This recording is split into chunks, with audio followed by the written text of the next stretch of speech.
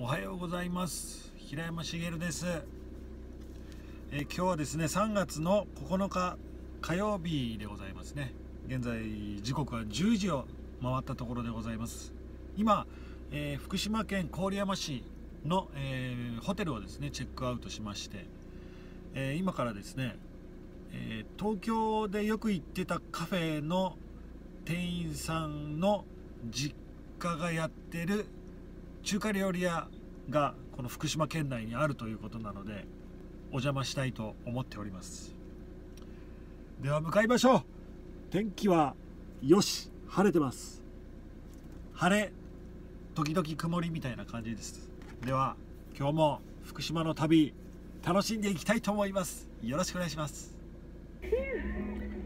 They said the baby loves throwing food on the floor. It sure does. Clean it up. They said the baby loves throwing food. 皆さん。スパリゾートハワイアン。もう一度。They said the baby loves throwing food. 皆さん。スパリゾートハワイアン。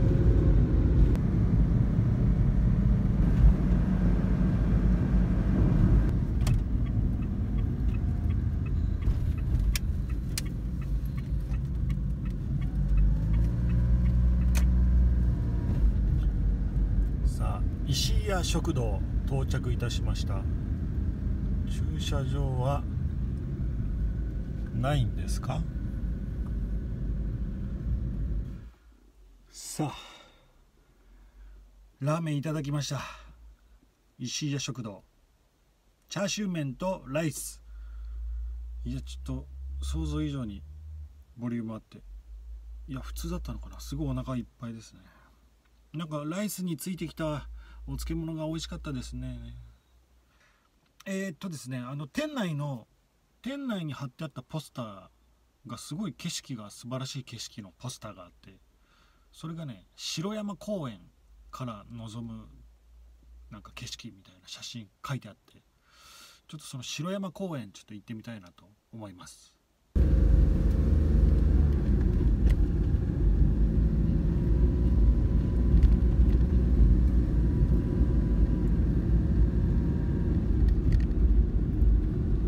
見えてきた。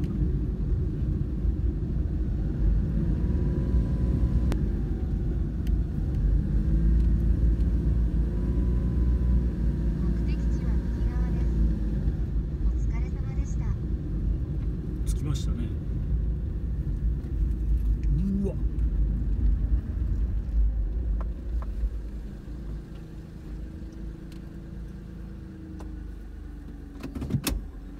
すごいじゃん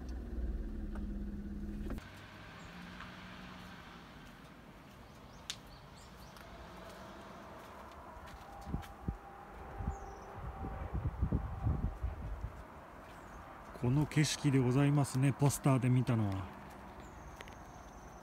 すごいな。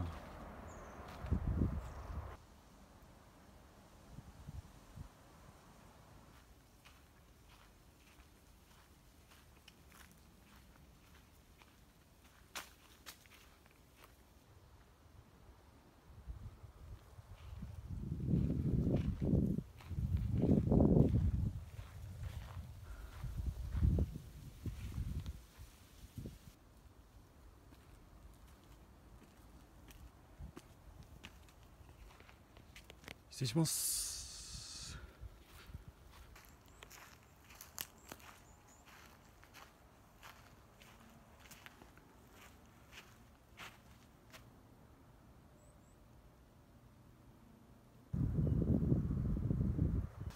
素晴らしいね。これもね桜だからもうちょっとしたらお花見もできちゃうんですね。なんか花火もあるらしいですね。有名な花火があるみたいです。ここからね見えるみたいですよ。ズドーンって上がって。じゃあちょっとねいわき向かいましょうかいわき。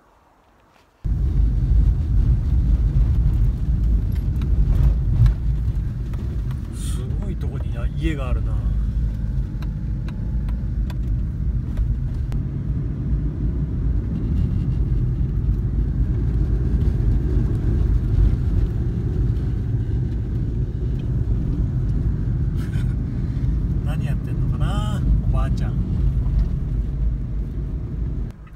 わき市到着いたしまして今アクアマリン福島というね水族館の辺り小名浜港ですね。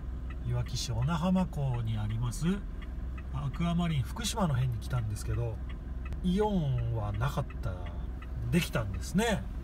すごい立派なイオンモールができております。そしてこちらがアクアマリン福島。大きいなイオンモール。すごい、まあ、10年前来た時はまあもちろんね津波の被害で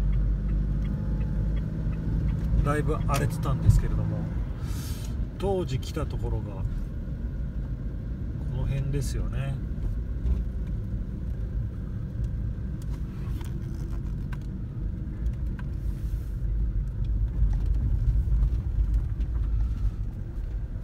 確かここに来たと思うな。ここももう建物は残ってたんですけどもう津波の被害で魚市場とかあったんですけど商品ですよね。商品がもうこの地べたに散乱してるような状態でした。ここもまあ先ほどのいわきララミューからすぐ隣の港小名浜港なんですけどここも10年前に来ました。今はこうやってね海に浮かんでますけども船が。当時来た時はですねこの辺りにドーンと船が打ち上がっちゃっておりました。千羽鶴があったりとかね。そうなんか女子中学生みたいなこう3人組に出会ってですね、まあ、物資をちょっと渡したこともありましたねここでね。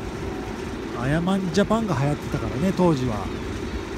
なんかポイポイポイって歌ってましたね。あの奥に見えるね堤防堤防を乗り越えて津波がねやってきたということで。ああひどいですね。ちょっと近くまで行ってみようと思います。えー、っと結構衝撃的な映像が飛び込んでまいりました。船が完全に横倒しというかあの海に突き刺さるような形になってますね、えー、ちょっと信号を左に行きたいと思います、えー、この辺は完全に津波でやられてますね、えー、ちょっと入ってみましょう。立ち入り禁止と書いてありますが奥で中学生が遊んでます、えー、もう地盤というかあの地面がガタガタです、えー、相当な被害を。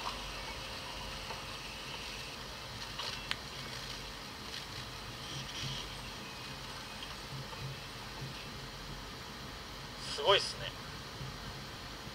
アヤマンジャパンの方ですか？あ違いますか？あ違いますえー、地元の方でしょうか？千羽鶴を漁船にかけてみんなは無事だったってこと？高台に逃げたりしたの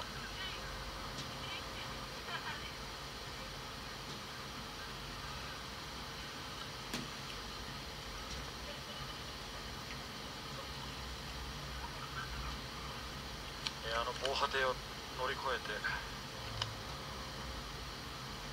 津波は押し寄せたんだと思います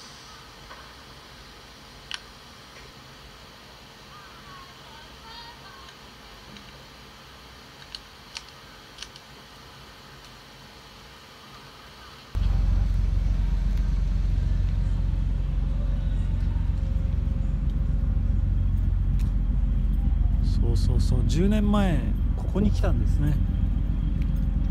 ちょっと10年前のね映像も一緒に見比べながら行きますけども僕はこっちの方行ったんです。こっちの方にね。もう誰もいなくてね当時は。こっちは何があるんだろう。こう旅客ターミナルっていうのがねあって。もうすぐそこが海なんですけど。見えました。ああ。そうそうそう。こっちへね。こっちへ行ったわけです私は。10年前と同じルートを歩いております。ここが旅客ターミナルなんですね。そうずっとこっちへ行ってね。ああ同じ景色だ。そうそうそうそうそうそう。当時はここのねウッドデッキあるんですけど確かここが結構ボコボコになっちゃってて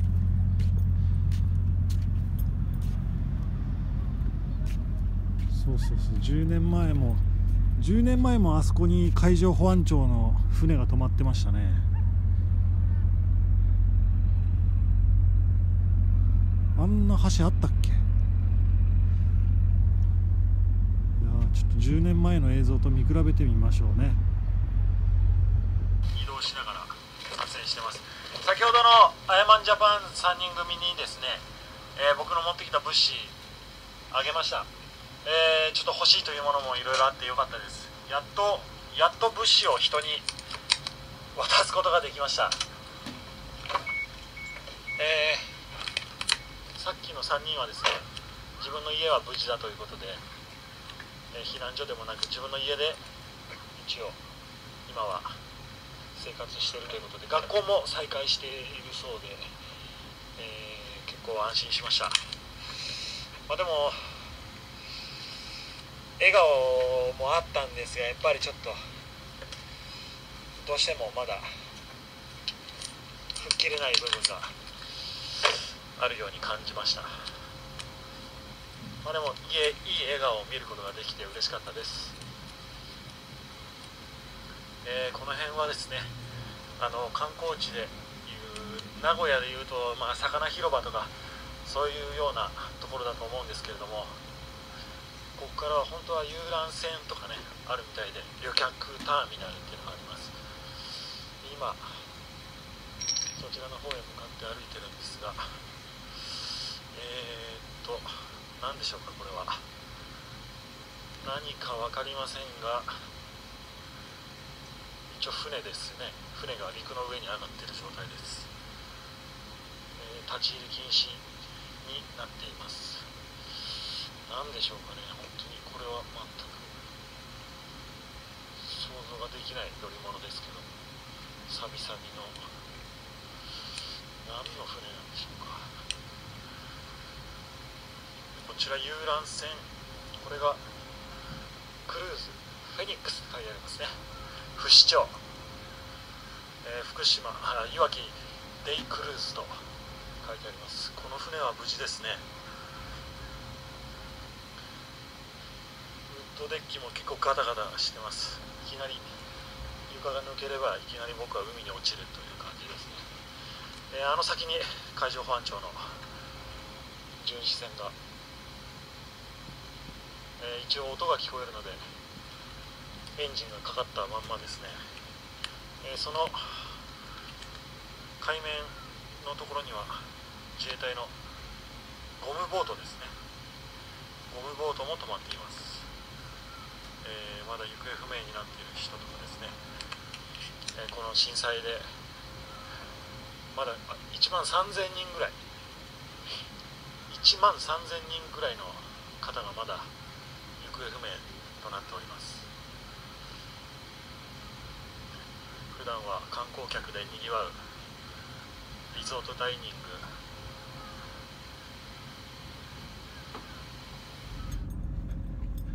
グ。しかしいいいい港町ですね。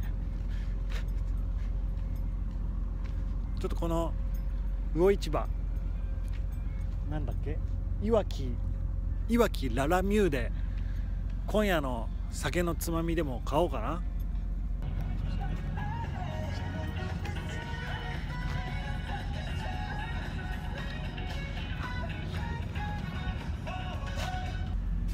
ダイナマイト大好きだ。えー、小名浜ちょっとねくるっと回りました、まあ、全部見たわけではないんですけれどもね当時10年前にね来たところちょっと振り返りに参りました。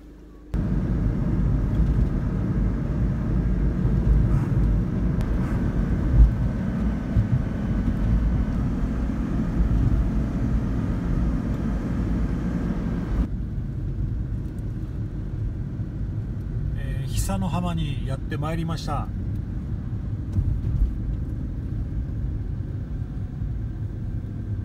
10年前来た時はですねまあ、震災当時はこの辺りは大規模な火災が起きて至る所がもう焼け跡になってたんですけれどももう今ではすっかり